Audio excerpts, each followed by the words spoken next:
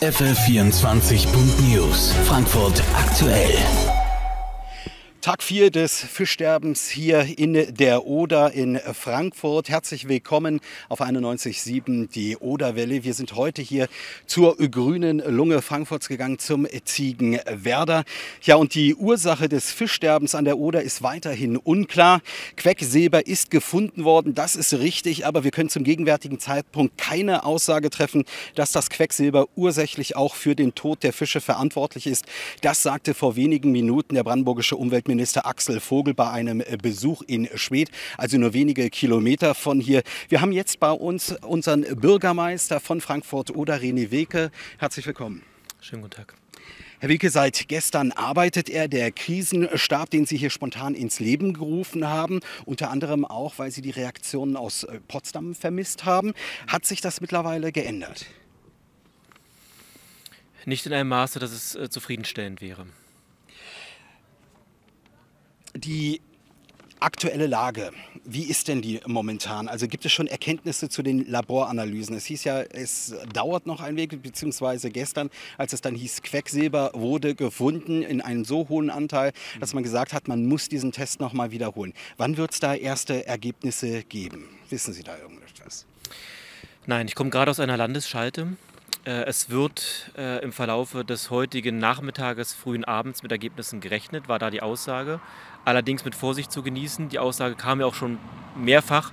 Äh, und es war auch mit viel Vorbehalt und so. Das wäre das optimistische Szenario, dass wir heute also mehr Klarheit dazu äh, bekommen. Der Chef des Landeslabors hat sich wohl gerade auch medial geäußert und äh, ebenfalls bestätigt, dass noch keine Ergebnisse vorliegen. Zu den Quecksilberfunden wurde uns mitgeteilt, dass ähm, tatsächlich, ähnlich wie Sie es gerade zitiert haben, das habe ich auch gerade gehört, die Ursächlichkeit unklar ist. Auch unklar ist, ob es jetzt noch eine Konzentration überhaupt gibt, ob es eine kurzzeitige war. Es gibt auch die ähm, also Leute, die sagen, Quecksilber sammelt sich ja gar nicht äh, in so kurzer Zeit an. Es kann auch ein solitärer Fund sein. Ähm, das muss alles irgendwie noch beprobt werden.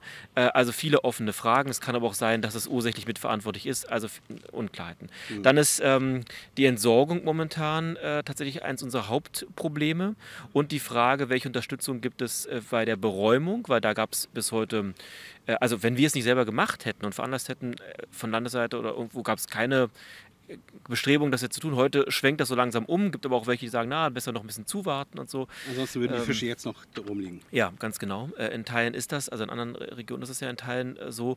Äh, also es gibt nach wie vor sehr viele Unklarheiten und das geht vor allen Dingen zu Lasten auch von den Helferinnen und Helfern, ähm, auch zu Lasten unserer Stadt, aber es sind ja ganz viele betroffen. Mhm. Die anderen Landkreise sind da ganz genauso in der Situation wie wir, genauso ungehalten, genauso ungeduldig, genauso sauer. Ähm, also das ist nach wie vor unbefriedigend. Wir haben jetzt gestern eine Tonne Tonne Fisch abgesammelt, also die Helferinnen und Helfer. Wir an der Stelle auch nochmal ausdrücklich Dank sagen für diesen tollen Einsatz. Auch heute ähm, geht das ja weiter, in den nächsten Tagen geht das weiter. Das, man sieht ja auch schon, dass es geholfen hat und eine Veränderung des Zustandes. Äh, die werden gerade zwischengelagert. Äh, wir klären gerade die Entsorgung, weil es da äh, tatsächlich sogar nochmal ähm, uns, uns äh, Stöcker zwischen die Beine geworfen wurden. Aber das kriegen wir auch irgendwie geklärt. Mhm. Ähm, ja. Wir wollen mal kurz zu unseren Nachbarn nach äh, Polen schauen. Da kommen ja teilweise auch absurde Meldungen. Zum Beispiel das beauftragte Labor, das dort Untersuchungen macht. Das hat sich jetzt gerade beschwert, dass sie ja bisher noch keinen Fisch bekommen haben, den sie untersuchen können. Dabei haben die Polen auch schon äh, tonnenweise Fisch aus der Oder geholt. Äh, viele Polen sagen auch, sie fühlen sich veräppelt. Ähm, wie sehen Sie das so von den Meldungen, die aus Polen kommen? Offen gesagt, ich könnte jetzt, jetzt hier äh, viel dazu kommentieren, das ist alles Spekulation, das ähm, auf Basis von Behauptungen von, mhm. äh, ja, also das, da will ich mich ehrlich gesagt gar nicht zu äußern. Mhm. Ich halte mich jetzt erstmal an dem, was wir wissen. Das ist nicht viel, ja. äh, aber was wir, glaube ich, alle wissen, ist, dass egal welches Szenario, ähm, es nicht besser wird, wenn die Tiere hier vergammeln äh, und möglicherweise damit noch weitere äh, Ausbreitungen, Krankheiten und so weiter entstehen, dass das äh, mit der Verbrennung ganz schnell geklärt werden muss äh, und ähm, das sind die, die vordergründigen Dinge und dass wir das Laborergebnis endlich brauchen äh, und keine durchgestochenen Zwischenmeldungen von irgendetwas, sondern äh, klare Ergebnisse. Ähm, damit wir damit umgehen können und wissen, was es ist. Äh, Klarheit ist auch nochmal ein gutes Stichwort, also gerade in der Kommunikation. Also wir hier in Frankfurt oder sind ja mittlerweile auch Allgemeinverfügungen äh, gewohnt, egal ob äh, für den Hellenesee, Schweinepest, Corona oder auch äh, ja, fürs Rasensprengen. Äh, jetzt haben wir eine wirkliche äh, Umweltkatastrophe besonderen Ausmaßes hier und jetzt verlangen die Bürger auch so ein bisschen Führung oder vermissen einfach mal klare Ansagen. Ähm, wo ist hier denn das Kommunikationsproblem zwischen Stadt, Land oder auch Bund? Woran liegt es? Liegt es irgendwie daran, dass wir gerade Urlaubszeit haben und alle im, im, im Urlaub sind? Sind jetzt drei Themen, auf die ich separat eingehen will. Das erste ganz kurz, äh, von äh, dieser Allgemeinverfügung äh, zu der äh, Bewässerung äh, entstand ja in meinem Urlaub und meiner Abwesenheit. Da werden wir in den nächsten Tagen auch nochmal ähm, eine Gesondert. Korrektur veranlassen. Das hat aber mit diesen Vorfällen hier erstmal gar nichts äh, zu tun. Zweitens, wir haben eine Allgemeinverfügung äh, jetzt in der Fertigung. Erfreulicherweise geht es in anderen Landkreisen auch so, dass sie erstmal schon mal angefangen haben vorzuarbeiten. Alle haben ehrlich gesagt gedacht, der Fluss ist ja nicht nur im Stadtgebiet Frankfurt-Oder, sondern dehnt sich ja ein bisschen aus. Dass das Land sozusagen dann sagt, okay, wenn Sie zu einer Gefahreneinschätzung kommen, gibt es da eine entsprechende Weisung und dann ist das die Grundlage. Das ist eigentlich das auch eine Bundeswasserstraße. Ne? So, ja, dem ist nicht so. Mhm. und deswegen machen sich die Kommunen jetzt auf und haben äh, angefangen, Allgemeinverfügungen zu schreiben. Die stimmen wir gerade ab, sodass es da eine weitestgehend einheitliche ähm, Vorgehensweise geben wird für Allgemeinverfügung. Das, die Schwierigkeit bei den Allgemeinverfügungen ist, dass wir es hier ja noch mit keinem Laborergebnis zu tun haben. Momentan ist der Erkenntnisstand, es liegen tote Fische im Wasser und es gibt ganz viele Behauptungen, Thesen und sonst da was. Das heißt, wir werden mit einer, äh, mit einer Vorsorgemaßnahme und einer potenziellen Gefahrenabwehr äh, agieren müssen. Das ist äh, so der Rechtsmechanismus, ähm, ist aber auch nicht ganz simpel. So, das äh, ist jetzt, wird heute passieren. Heute wird es eine Allgemeinverfügung mhm. Äh, geben, wobei ich äh, sehe, dass sich alle Menschen auch daran halten. Also ich sehe gar kein Ansageproblem. Wir haben als Stadt ja auch klar kommuniziert, fernhalten vom Wasser, nicht, nicht trinken, die Fische um Himmels Willen nicht berühren, nicht, nicht verzehren. All das für einen gesunden Menschenverstand ist das doch auch klar. Also ich glaube, da sind genug Ansagen gekommen und die Leute halten sich äh, hier auch alle halbwegs vernünftig halten sich mhm. daran. Ähm, aber wir machen es nochmal mit der Verfügung und dann ist auch gut. Und woran es hakt, das ist äh, extrem schwer zu sagen. Mein Eindruck ist, dass ähm, sich jeder so ein bisschen um die Zuständigkeit drückt und die Verantwortung drückt, die damit einhergeht, weil da hängt dann auch viel dran. Und deswegen hofft man, dass irgendwer dann schon machen wird und damit auch die Verantwortung übernimmt und man nur das machen muss, was dann irgendwie geht. Und da sind wir am Ende der Kette, weil bei uns ist es dann vor Ort und deswegen sind wir dann diejenigen, die ähm, agieren und die anderen freuen sich wahrscheinlich auch darüber. Mhm. Aber das ist natürlich inakzeptabel. Aber ich habe das schon mal gesagt, jetzt muss erstmal gemacht werden und dann die ganze Aufklärung, Aufarbeitung, äh, das mhm muss danach passieren, zwingend. Es gab heute äh, Morgen auch äh, Stadtverordnete hier aus Frankfurt-Oder, die den äh, brandenburgischen Ministerpräsident kritisiert haben, der sich momentan im Urlaub befindet und auch eigentlich fordern, ja, dass sich eigentlich der Ministerpräsident, also Herr Wolke, hier blicken lassen sollte. Er ist ja auch Unterstützer unserer Brückenbauerkampagne. Sie haben ja einen ganz guten Draht auch zu Herrn Wolke. Ja, Brückenbauer könnten wir ja jetzt eigentlich auch genau gebrauchen, eigentlich zwischen Deutschland und Polen, weil irgendwo gab es da ja ein Kommunikationsproblem. Problem. Äh, wie sehen Sie äh, diesen Bedarf? Hätten wir da nicht ein bisschen auch Vermittlungsbedarf durch Herrn Wolke? Also wenn es so weit ist, dass die Dinge nur funktionieren, wenn der Ministerpräsident keinen Tag im Jahr Urlaub hat, beständig da ist und sofort sich um alle Dinge alleine kümmert, dann wäre das ein echt fatales Zeichen. Mhm. Äh, und äh, das ist in der Stadt wie Frankfurt-Oder genauso. Hier gibt es auch mal so eine Fokussierung auf den OB. Aber überall gibt es Stellvertreter, es gibt Ministerien, die dafür zuständig sind. Es gibt das MEK, das eine Stabstruktur hat. Es gibt das Umweltministerium mit einem Minister, mit Staatssekretären, mit einem Apparat. Es gibt äh, dann untergeordnete Behörden, die dafür da sind. Es darf nicht an einer Person hängen. Es gibt auch ein Europaministerium und Staatssekretäre für deutsch-polnische Beziehungen.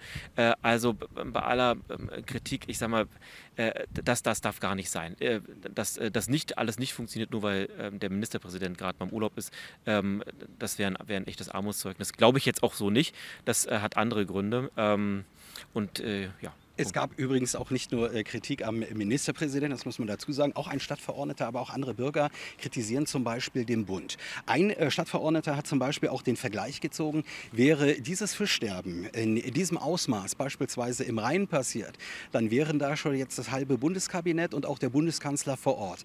Können Sie nachvollziehen, dass manche Bürger denken, naja, wir hier in Ostbrandenburg werden hier vom Bund so ein bisschen ja, eigentlich ignoriert, beziehungsweise wird das nicht gesehen, weil dieses Ausmaß ist ja schon, es ist ja nicht irgendwie so eine Lappalie, die hier gerade passiert. Würden Sie sich äh, auch wünschen, dass vielleicht die Bundesumweltministerin oder vielleicht sogar der Kanzler auch mal hier vorbeischauen würden in dieser Situation? Um Vorbeischauen geht es mir nicht. Davon ist erstmal nicht viel geholfen. Äh, wenn die Strukturen dort uns helfen würden, das wäre enorm hilfreich. Äh, und es gab heute eine Bundespressekonferenz, da wurde das Thema von Journalisten und Journalistinnen angesprochen und da hieß es wohl, dass, das, dass der Bund erstmal noch nicht sieht, dass es jetzt irgendwie deren Thema ist und Land und Kommunen machen. Es und, ist aber trotzdem eine Bundeswasserstraße. Ne? Dass das nicht meine Auffassung ist, äh, ist, äh, ist vollkommen klar.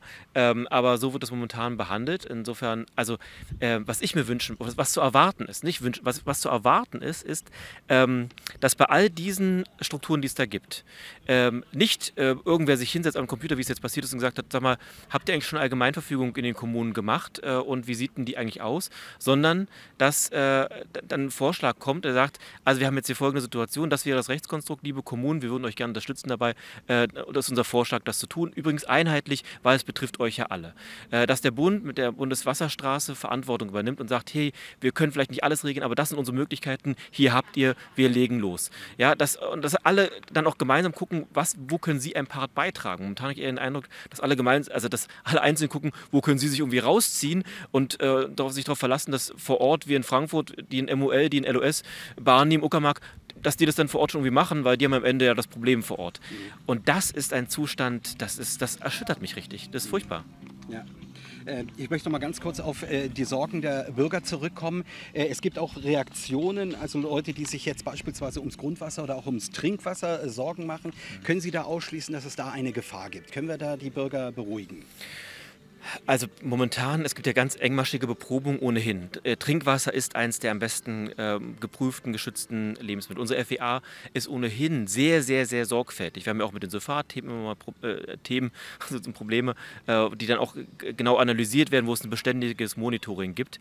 Äh, und ähm, es gibt keinerlei, wirklich keinerlei Anzeichen, dass es irgendeine be negative Beeinflussung gibt äh, und eine beständige Kontrolle. und von daher würde ich auf jeden Fall erst einmal für deutliche Beruhigung sorgen. Und man kann auch davon ausgehen, sich darauf verlassen, dass wenn wir irgendwelche Erkenntnisse haben, dann geben wir die auch sofort weiter.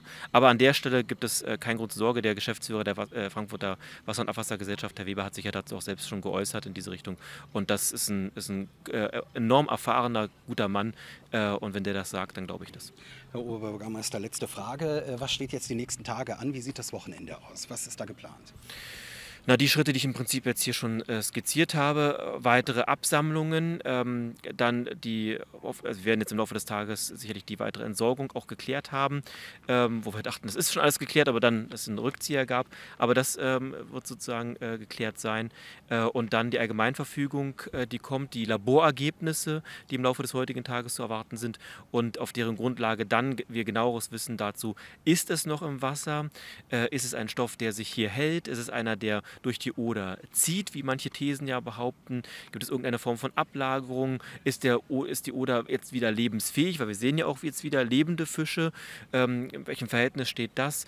Ähm, welche Belastungen haben die jeweiligen Tierkadaver und so weiter? Also all diese Fragen hängen ja wirklich, also diese Laborergebnisse sind eigentlich der, der Dreh- und Angelpunkt jetzt. Okay, vielen Dank. Der vierte Tag des Fischsterbens hier in Frankfurt-Oder. Oberbürgermeister René Weke war das. Vielen Dank und Ihnen dann dennoch ein äh, gutes Wochenende. Und äh, hier auf 91.7 die Oderwelle halten wir Sie natürlich auch weiterhin über dieses mysteriöse Fischsterben in der Oder auf dem Laufenden. Und damit gebe ich erstmal zurück ins Funkhaus.